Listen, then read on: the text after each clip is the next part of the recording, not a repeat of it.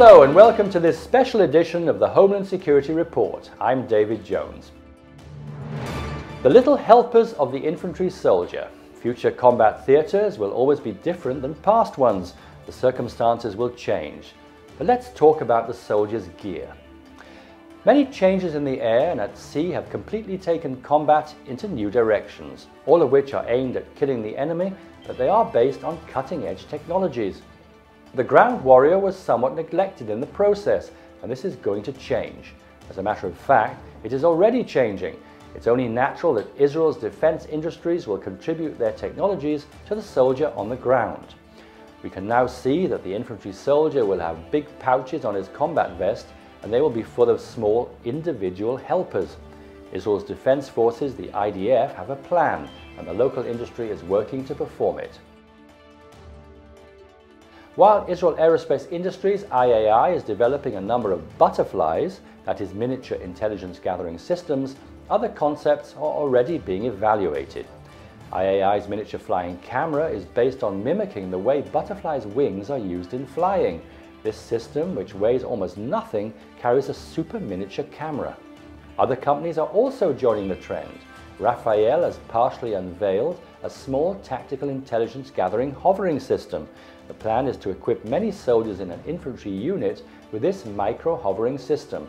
The hovering system is carried in a small canister stowed in an infantry soldier's personal gear.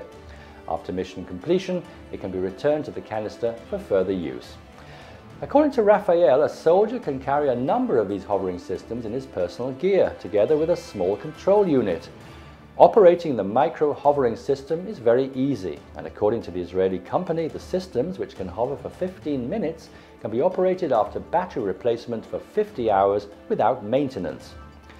A microsystem can hover to a distance of 1 kilometer from its operator in an urban area and 5 kilometers in an open one. Hovering altitude is 100 meters in an open area and 50 in an urban region. Rafael plans to equip the microsystem with a day CCD camera and with a special night vision sensor. The Israeli company says that the system is capable of detecting a person from a range of 180 meters recognize him at a 60 meter range, and incriminate him at a range of 30 meters. Vehicles can be detected at a range of 400 meters and recognized at a range of 60 meters. Israeli sources told IHLS that the system is a real revolution in the tactical intelligence field, especially for small units that covertly move rapidly from point to point.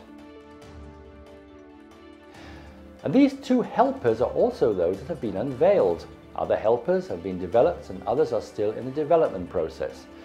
Miniaturization of sensors and power sources allow these gadgets to become an integral part of the list of personal gear a soldier carries and wears in combat.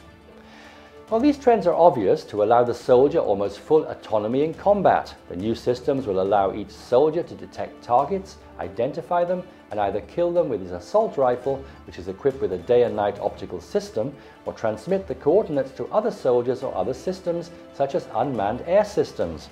The new technologies have one thing in common. They are miniaturized versions of bigger ones. The ability to scale the systems down allows the developers to feature many capabilities soldiers carry and wear, without impeding their free movement. Well, that's it for this week. Thank you for watching this edition of the Special Report. See you at the same time, same place next week, and for further information, please click the link below.